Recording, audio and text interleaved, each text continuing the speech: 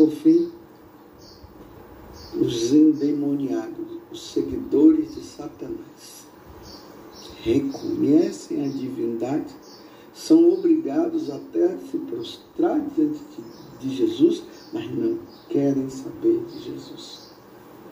Blasfemam, cometem todo tipo de sacrilégio, são adoradores de Satanás.